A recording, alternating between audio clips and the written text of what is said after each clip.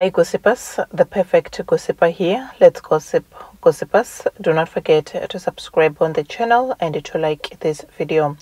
Makhadzi came out defending herself and denying the allegations that she received any money from the Department of Sports and Arts and Culture and she said that the money that she received is the money that she worked for as she was rendering the service. And she said that she performed and got paid.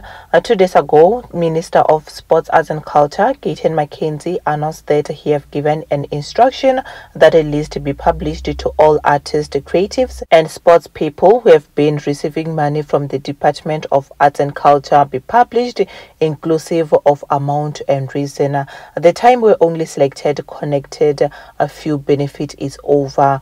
Uh, so the list was released and Makhadzi got something to say. She went live and say that uh, um she did not get the money. The money that she got is the money that she was paid to perform. She wrote this on her Instagram stories.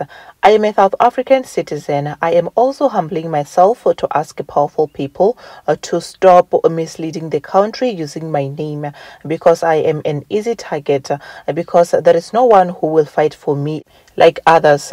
South Africans, we are one and must be treated the same. And she went on to say, I am ready to die if I have to. Uh, stop tribalism. We as South Africans, we love each other and I'm not going to allow powerful people to make separate. Um, guys, she also uh, released a statement which she did detailed what happened.